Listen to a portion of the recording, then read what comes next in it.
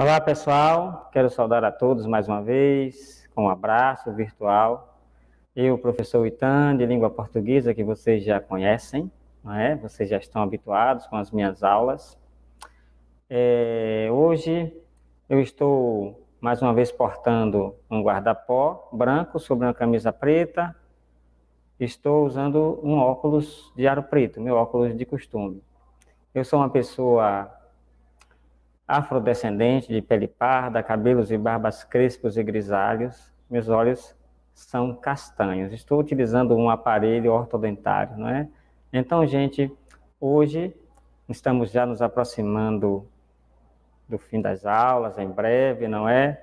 Então, é, hoje nós vamos falar é, de mais um tema, de mais um gênero textual. Gosto muito de trabalhar com gêneros textuais e hoje nós temos mais um gênero textual para é, estudar, ok? Os gêneros textuais são inúmeros. Nós não nos comunicamos sem gênero, sem nenhum tipo de gênero textual, porque nós já sabemos que até uma fala formal, informal, em casa, com os amigos, é um gênero textual. Então, nós nos comunicamos através de gêneros textuais. E hoje nós vamos ver mais um gênero textual que é muito comum no nosso dia a dia, e antes de, de dizer exatamente qual é o gênero, eu quero deixar um vídeo para vocês, passar um videozinho, para vocês terem uma ideia, já intuírem o que é que, do, de que, que gênero textual é que nós vamos falar hoje. Nada como um okay? bom cineminha em dia de chuva, é o que eu sempre digo. Hã? Aqui não tem goteira, tem? Ah, sim, um friozinho na barriga, sabe? Nada como um bom cinema. vendido! Eles vão ter que resolver um grande mistério. Agora eu tô com o Daniel Rezende, o diretor do filme. Oi, Daniel, tudo bem? Tudo ótimo, tudo maravilhoso. A gente tá aqui na pré-estreia, a galera tá chegando, tá todo mundo tá animado, então não podia estar tá melhor. E qual é a sensação de fazer o primeiro filme da Turma da Mônica? É uma responsabilidade muito grande, porque esses personagens estão aí no imaginário, no inconsciente coletivo de todos os brasileiros mas ao mesmo tempo é uma emoção muito grande, é um sonho sendo realizado poder participar de alguma forma, entornar de carne e osso esses, esses personagens que a gente cresceu lendo, que ainda as pessoas estão lendo hoje em dia, as crianças leem, os adultos cresceram lendo, é, e está muito lindo, porque o Maurício, ele, ele acompanhou todo o processo e o olho dele brilhou o tempo inteiro, então, se o olho dele está brilhando é porque eu acho que a gente estava no caminho certo. E o senhor pretende fazer alguma continuação? Olha, o senhor, não sei quem que é essa pessoa. Estamos trabalhando para isso, mas depende de vocês irem para o cinema, é, e, e, e, prestigiarem o filme no cinema, dia 27 de junho nos cinemas, que aí a chance de fazer um 2, um 3, um 4, um 5 e expandir para todo um, um, um, universo enorme do Maurício de Souza aumenta muito. Agora eu tô com a Mônica Souza. Mônica, fala pra gente o que, que você está achando do filme Turma da Mônica Laços. Você não acredita, mas a a parte completa, com orquestra, tudo isso é a primeira vez que eu vou assistir. Então eu estou tão emocionada que eu não consigo nem comer, nem beber, nem dormir, nem fazer nada. Porque ontem já foi lançado no Rio e hoje está sendo lançado aqui. E todo mundo está emocionado e todo mundo está muito feliz com o resultado. Eu sei que quando seu pai criou a Mônica, você era bem pequenininha. Verdade. Mas quando você ficou um pouquinho maior, você imaginava que chegaria nesse sucesso todo de até poder ter um filme? Nunca, nunca imaginei, ainda mais um filme live action, que é a primeira vez que eu tô vendo a Mônica, Cebolinha, Cascão, Magalinha carne e osso. Nossa, tá demais. A emoção é muito grande. Se vocês, vocês não conseguem entender o que a gente sente, é uma emoção enorme. Obrigada, Mônica. A gente pode tirar uma foto? Claro. Como vocês observaram, é, há aí uma conversa, não é? um diálogo entre alguém que está perguntando e alguém que responde. Com certeza vocês já sabem, não é, que gênero textual é esse. Que tipo de conversa é essa entre o rapazinho e o, o produtor do, do filme? E também entre o rapazinho e a Mônica, não é? A Mônica de verdade, de onde se originou, que, que inspirou a Mônica da revista em quadrinho, né? Porque aquela moça é a Mônica a filha do Maurício de Souza, que inspirou não é, a Mônica das revistas em quadrinho. Então, que tipo de conversa é essa? Como é que se chama esse gênero textual? É? Isso a gente vê o tempo todo na TV, nós também vemos em revistas, em jornais, E nós já sabemos, claro, que tipo de gênero textual, qual é o gênero textual que está sendo, é, vamos dizer assim, praticado, posto em prática pelo garotinho, não é? Então, nós temos aqui o gênero textual entrevista, ok? Não existe apenas a entrevista jornalística, não é? Existem outros tipos de entrevista. Então, hoje nós vamos aprender um pouco sobre a entrevista, né? Qual é o nosso objetivo com essa aula? Que vocês aprendam a ler, reconhecer e usar o maior número de gêneros textuais das diversas esferas discursivas. Como eu sempre digo, quanto mais gêneros textuais nós tivermos é, contato, com quanto mais gêneros textuais tivermos contato, mais habilidade de leitura, de interpretar também o mundo nós teremos, ok? Então, mas o que é realmente uma entrevista? Não é? Uma entrevista é um dos gêneros textuais com função geralmente informativa. Não é? O rapazinho estava ali, o entrevistador estava entrevistando os seus entrevistados para coletar informações. E essas informações depois vai ser direcionada a quem? A um determinado público, ok? Veiculado sobretudo pelos meios de comunicação, jornais, revistas, internet, televisão, rádio, dentre outros. Então, esse gênero textual já faz parte do nosso dia a dia pelos diversos meios de comunicação que nós conhecemos e que nós temos contato. Então, é, a entrevista, como eu disse, existem vários tipos de, de, entrevista a depender do objetivo que se quer né, com essa entrevista, ok?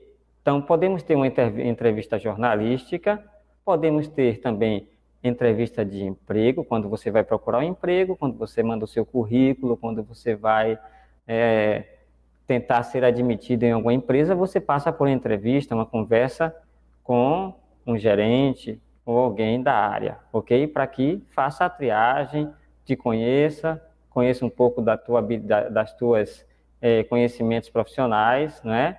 Para que você seja admitido ou não. A entrevista médica, que tem o objetivo de diagnosticar, a, a, também a entrevista psicológica, quando você também vai diagnosticar, de certa forma, a, o seu comportamento, por que, que você age de determinadas formas. Então, a pessoa, a, o psicólogo ou a psicóloga que vai te entrevistar para começar uma terapia com você, ele precisa saber não é, um pouquinho de tudo que se passa com você em termos de comportamento, para que ele possa não é, começar a trabalhar. É, existem também as entrevistas para pesquisa de opinião, por exemplo, pesquisas que querem saber sobre em quem você vai votar, sobre obras que um determinado governo faz, se estão sendo benéficas à população ou não. Então, entrevistas para pesquisa de opinião. As entrevistas são diversas, como eu já disse, a depender do objetivo que se tenha com essas entrevistas, ok? A entrevista é um gênero marcadamente oral, ou seja, a entrevista ela é inicialmente realizada numa forma de conversa, de bate-papo, então é oral, ok? Mesmo que depois ela seja transcrita para uma revista, um jornal, ela inicialmente é oral. Qual é o esquema que a entrevista é, segue? O, o esquema de perguntas e respostas. Então, a gente já sabe que nessas perguntas e respostas, né, nesse, nesse ato de perguntar e responder, existe primeiro aquele que pergunta, o entrevistador. Ele abre e fecha a entrevista, faz perguntas, suscita a palavra do outro, incita a interação, o diálogo, a conversa, ok? E temos o entrevistado, né, que é aquele que responde. Uma vez que aceita a situação, a proposta, é obrigado a fornecer as informações pedidas, ou não, não é? Nem sempre, às vezes, o entrevistado se omite a dar determinadas respostas. Mas, basicamente, é isso aí. O entrevistador entrevista, conversa, pergunta, faz perguntas ao entrevistado que vai respondendo, não é? Aquilo que se é solicitado por quem está fazendo a entrevista, ok? Então, Existem também as entrevistas que a gente pode considerar coletiva, que são mais de, é, mais de uma pessoa, são várias pessoas fazendo pergunta a uma única pessoa, não é? Mas também essas várias pessoas podem fazer pergunta também às várias, a várias outras pessoas ao mesmo tempo, não é? Então está sendo uma entrevista coletiva, mas também existe o contrário, uma única pessoa, um único repórter, um único é, é, entrevistador pode entrevistar um grupo, ok? Sobre o mesmo tema, sobre as mesmas perguntas, só que ele vai ter respostas diversas, não é assim mesmo? Então, cada entrevistado tem uma forma de pensar, tem uma maneira de raciocinar e vai dar, não é? Cada, de acordo com sua visão de mundo e do, do tema que está sendo tratado, a resposta que o entrevistador não é, quer escutar. A entrevista tem uma função social, não é? Basicamente, informar é essencial para a difusão de conhecimento, ou seja, da informação, a formação de opinião e posicionamento crítico da sociedade. Então, a entrevista não é feita simplesmente para perguntar, para conversar, para dialogar com o entrevistado, mas também pode se utilizar essa entrevista, não é, para, para se difundir informação, por exemplo, sobre é, uma campanha política, sobre é, quais são as propostas de mudança no que se diz respeito às condições de vida da população mais carente, né? Então, a entrevista tem a função, tem sua função social, que é muito importante. Então, ela também propõe a discussão e debate sobre determinado tema, ok? Então, existem é, é, entrevistados que são especializados em determinados temas que eles vão é, falar, esclarecer e debater esse tema para um determinado público, para o público que também né, é objeto, ou seja, é para o qual é direcionada a entrevista, certo? Então, como eu já falei, a entrevista ela é inicialmente oral, depois ela passa a ser escrita, ok? Quem vai entrevistar, claro que faz, não é? Vai bolar lá suas perguntas, vai criar suas perguntas, vai entrevistar a pessoa, gravar essa entrevista e depois, se for necessário, não é? essa entrevista que foi feita de forma oral, falada, pode se tornar uma entrevista escrita. Claro que a gente sabe disso porque nós já estamos acostumados a ver em revistas, jornais, não é? Esse tipo de, de gênero textual, a entrevista escrita. A linguagem da entrevista, ela pode variar, ela pode ser formal, pode ser informal, mas também pode misturar as duas coisas. A gente sabe que a linguagem formal é aquela linguagem padrão, mais certinha, mais gramaticalizada, mais dentro das normas gramaticais, não é? E informal é aquela linguagem que a gente utiliza no nosso dia, sem muita preocupação, não é? A linguagem mais simples que nós utilizamos no nosso cotidiano. Então, a depender do entrevistado, a gente também vai ter uma linguagem mais formal ou uma linguagem mais informal, ok? Se, por exemplo, uma revista entrevista um rapper, a linguagem com certeza vai ser mais informal, porque nós sabemos que geralmente esse esse tipo de cantor, esse tipo de artista tem uma linguagem específica, utiliza muita gíria, né? Tem um, vamos dizer assim, uma linguagem que é dele, própria da área de quem faz esse tipo, esse estilo de música, hip hop, rapper, não é? E se eu for pegar um especialista, como está pensando o Brasil aí nesse nessa imagem, a linguagem vai ser mais formal, uma pessoa especializada que está dentro de uma linguagem mais acadêmica, utiliza uma linguagem mais acadêmica, então uma linguagem mais formal. Mas também nós temos que lembrar que a depender do público-alvo, né, para para quem vai ser direcionada a entrevista, pode-se também, é, tanto quem está entrevistando quanto quem está sendo entrevistado, adaptar a sua linguagem para que esse público possa compreender o que está sendo discutido, o que está sendo pondo em questão, é, está, sendo, está sendo posto em questão na entrevista, ok? Então, quais são as características de uma entrevista? Então, textos informativos e ou opinativos presença de entrevistador e do entrevistado, linguagem, né, ela é feita através de um diálogo oral, como eu falei, que pode ser formal ou informal. Marca de discurso direto, ou seja, a fala própria do, personagem, do, do, do entrevistado e do entrevistador e a subjetividade. Quando eu falo em subjetividade, eu estou falando daquilo que é próprio de quem está entrevistando ou de quem está sendo entrevistado, a seu, o o seu, o seu é, é, é, ponto de vista particular sobre os determinados assuntos que serão tratados nas entrevistas, ok? Então, como eu falei, mescla a, mescla a linguagem formal e informal, certo? Então, qual é a estrutura da notícia? A notícia tem que ter um tema, ela tem um roteiro, porque um roteiro faz parte, não é? É necessário. Título e revisão.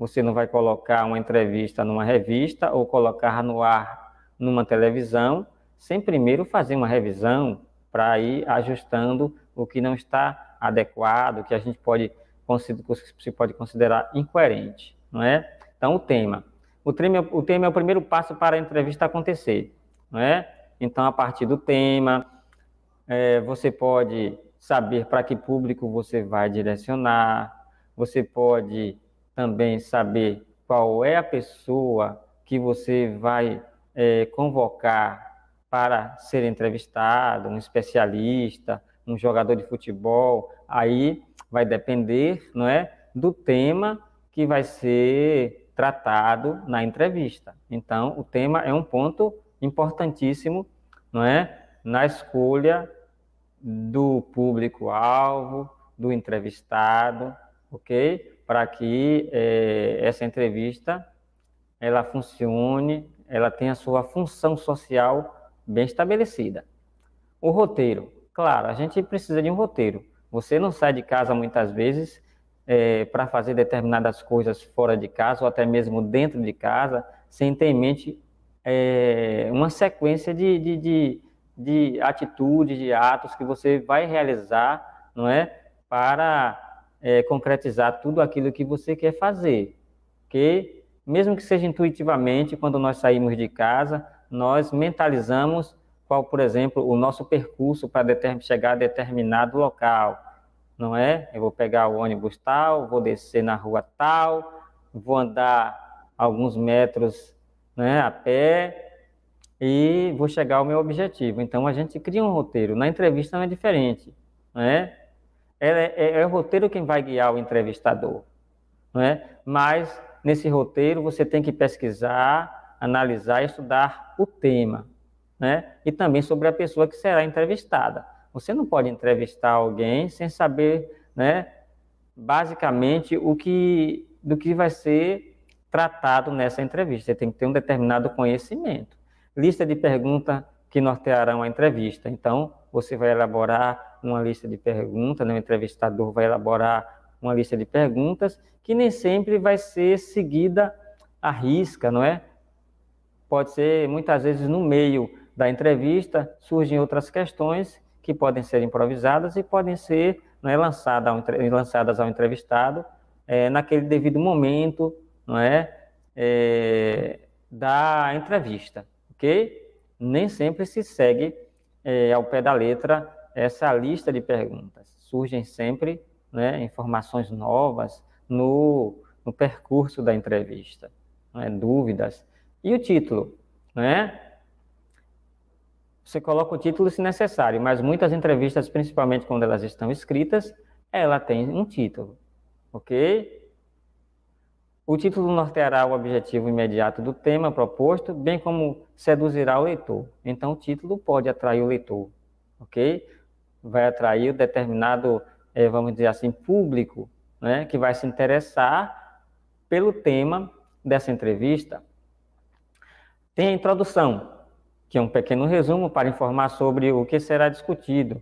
Ele coloca também, no, no, no, nessa introdução, se coloca também o perfil do entrevistado e sua experiência profissional, ok? Então, precisamos, quem vai, quem vai entrevistar e também o público que vai né, ter acesso a essa entrevista, que vai se interessar por essa entrevista, tem que saber um pouquinho, não é, do perfil de quem será entrevistado e do tema ao qual ele tem suas é, referência, tem a sua especialidade, porque você não vai querer ouvir, não é, uma pessoa que não tem conhecimento sobre um determinado tema, não é?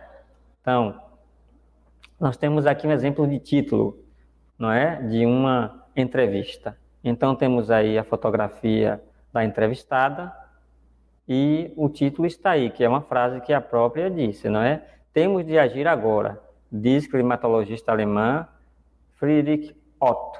Então, aí é o título, e aqui ao lado, em letras menores, está a pequena introdução que fala um pouco sobre a cientista e também sobre o ponto de vista da mesma, não é, sobre a questão da, do clima. Então, ó, a cientista, criadora de um sistema que comprova a ação humana nos desastres climáticos, ressalta a urgência de soluções, mas se diz esperançosa. Então, temos o título e temos a pequena introdução. Essa introdução é pequena, mas há uma, uma introdução mais extensa que detalha mais, não é, sobre o entrevistado e sobre o tema que será tratado na entrevista, ok? Então, no final, é claro, uma revisão. Se você organizou toda a sua entrevista, se você já realizou essa entrevista, na hora que você for escrever, colocá-la é, na sua forma escrita, não é, numa revista, num jornal, na internet, ok? Então você vai ter que fazer uma revisão, não vai se colocar de qualquer jeito, não é? Você vai ter que fazer sua revisão ortográfica, por exemplo, a revisão da, da, de gramática, de determinados termos utilizados, você vai ter que adequar a linguagem, que muitas vezes não vai caber é, é, numa entrevista escrita, uma linguagem muito informal, não é?